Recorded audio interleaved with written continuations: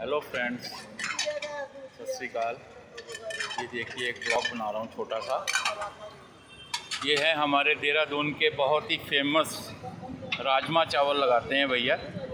ये देखो, इस तरह से चावल, फिर राजमा, ऊपर चटनी, और ये लगा के बहुत ही स्वादिष्ट मतलब बहुत पुराना, आज का नहीं, दसों साल से तो मैं देख रहा हूँ इन्हें। ठीक है।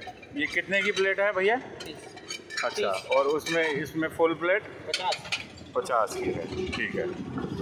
तो फ्रेंड्स मैं ये इसीलिए दिखाया कभी भी आपका आना हो तो आप ये प्रिंस होटल से नीचे की तरफ़ आएँगे तो ये होटल मिलन पैलेस है। और ये आप कह सकते हो होटल मोती महल ये। इस तरह से है ये गुड न्यू जनता ट्रांसपोर्ट के सामने। बहुत ही पुराना मतलब काम है इनका।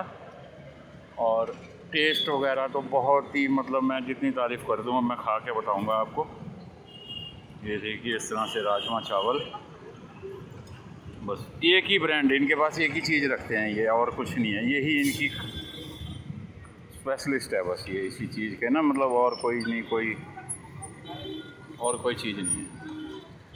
ठीक है फ्रेंड्स ओके अगर आपको वीडियो अच्छी लगे तो लाइक शेयर कमेंट करके बताइए। फिर मैं कोई दूसरा आपको दिखाऊँगा जल्दी ही।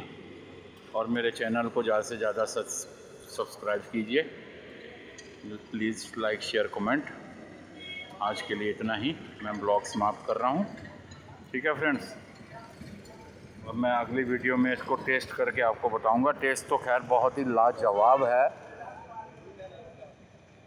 पर आप कभी भी इधर आएँ तो एक बार ज़रूर